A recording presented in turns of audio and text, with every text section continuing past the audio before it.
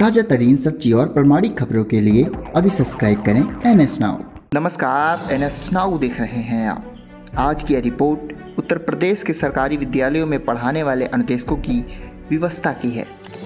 Basic शिक्षा परिषद के उच्च प्राथमिक स्कूलों में 2013 से कार्यरत अंशकालिक अनुदेशकों की आर्थिक स्थिति खस्ता है।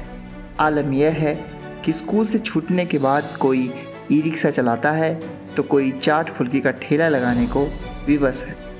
सरकार ने मई के अंत में प्रदेश भर के सत्ताईस हज़ार पाँच सौ पचपन अनुदेशकों का मानदेय सात हज़ार से बढ़ाकर नौ हज़ार रुपये किया था।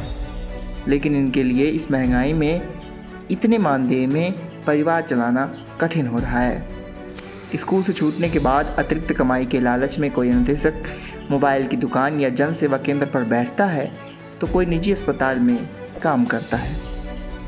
उच्च प्राथमिक विद्यालय कोराव में कला के अनुदेशक प्रदीप कुमार विश्वकर्मा की माली हालत ठीक नहीं है। स्कूल से छूटने के बाद वह बाज़ार में चाट फुल्की का ठेला लगाते हैं। उनके चार बच्चे प्राथमिक विद्यालय कोसफरा कला कोराव में पढ़ते हैं। माता पिता की ज़िम्मेदारी उठाने के साथ ही प्रदीप को बहन की शादी भी करनी है।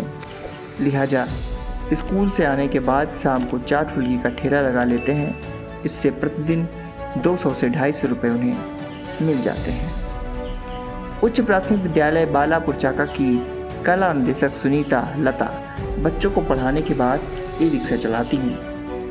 पति धीरेन्द्र कुमार कुछ समय पहले तक कपड़े की दुकान पर सात हज़ार रुपये महीने पर काम करते थे। दो बच्चों की पढ़ाई माँ पिता की ज़िम्मेदारी उठाना मुश्किल होने लगा तो एल बॉन्ड पर एक लाख लोन कुछ रुपए बचतों से उधार लेकर और कुछ बचत का लगाकर एक दशमलव सात पाँच लाख रुपए में ई रिक्शा खरीद लिया।